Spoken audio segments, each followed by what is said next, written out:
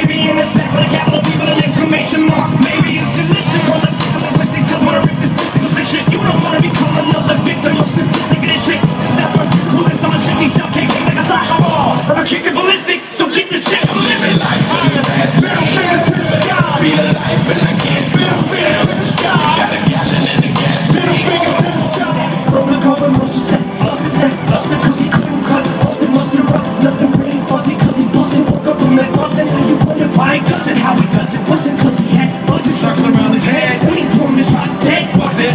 Was it cause the bitches wrote him off, little hussy ass cuz? Fucking guess it doesn't matter now, it's all difference to make. What you take to get through your thick skulls at this ain't. Some bullshit people and see come back this way. From a place was dark as I was to the place. Y'all let these words be like a switchblade to a hater's.